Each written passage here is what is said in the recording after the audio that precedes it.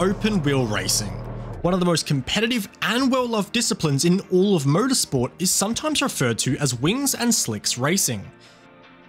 Front and rear wings generate massive amounts of downforce with meticulously sculpted chassis finished by highly developed slick tyres to ensure that these cars have the ultimate stability and cornering performance. You see this formula in all forms of open wheel racing. Formula 3, Formula 4, the road to Indy, and of course, Formula 1 itself. And yet, one of the world's most iconic and well-loved open wheel series does not follow this formula. Downforce? Never heard of her, mate.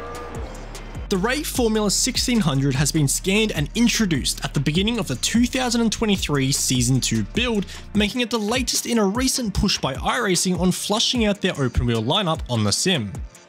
Weighing in at just 500 kilograms and powered by a 1.6 litre Ford Kent engine producing 116 horsepower, the car has more than enough power to weight to keep the driver entertained, especially with how it drives through the corners. Sliding on 13 inch Avon tyres, the car moves around a ton in the corners, especially whilst they are coming up to temperature in the opening 2 or 3 laps of the run. Like the Skip Barber, it requires a smidge of slip angle through the corners to maximise its potential, which is incredibly fun and addictive. When you overstep the mark, the car is reasonably forgiving as long as you're on the loud pedal. The car naturally does not feature any driver assists, but still, you'd have to be severely overdriving the car or competing with an extremely far forward brake bias to lock up a brake into most corners. Speaking of car setup, there is nothing too scary to learn in the garage of this car. Basic adjustments like camber, spring rates, toe angles, and anti-roll bar changes are all possible, as well as damper compression and rebound for those looking for that little bit more compliance over the curbs and rougher surfaces.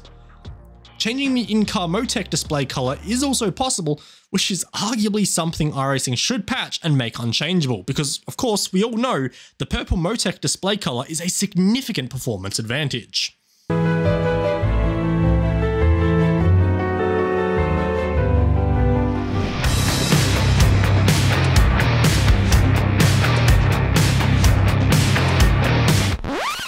The car uses a Hewland LD200 4-speed gearbox, which is, in short, a dog box.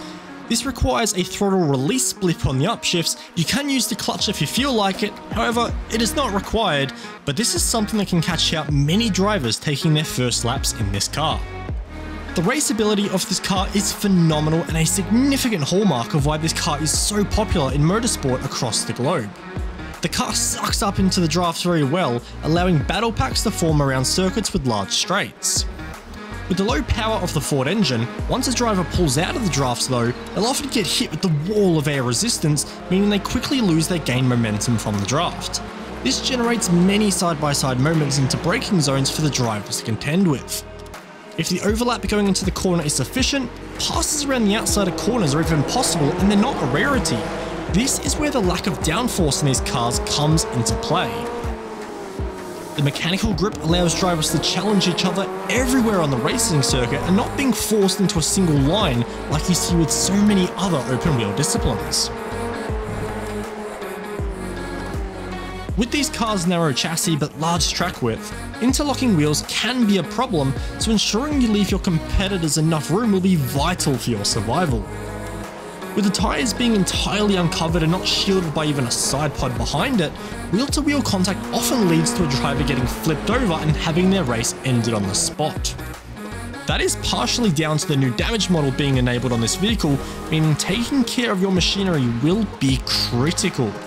Knocking off a nose cone will significantly impact your straight line speed, so dance around the circuit respectfully or face the consequences. That said, I do find like many other recent damage model implementations, the tyres are surprisingly tricky to rip off. You can bend the suspension, ruin your alignment and do many other things, but ripping the wheel off entirely will take a severe impact compared to what you might expect in the real world. Getting you all to drive this new car shouldn't take too much convincing, especially given that it is free to all members on the iRacing service. Even if you don't intend on ever racing this car, I could not recommend enough trying it for a couple of laps just for a good laugh. I can promise you'll be giggling like a schoolgirl dancing through some of the highest speed corners on the throttle sideways. In an era of racing where efficiency, looking after tyres, and being smooth and precise is king, it's refreshing to have a psychopath of a car every now and then that makes you work the steering wheel like a dirt sprint car.